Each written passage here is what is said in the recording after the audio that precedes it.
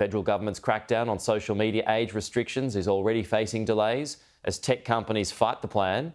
The Department of Communications will hold a briefing tomorrow to lock in a trial for Labor's plan. Delays have been exacerbated due to conflict within the Labor Party over the optimal minimal age that should be enforced. The coalition has vowed to solve the age restriction debacle in its first 100 days, should it win the election.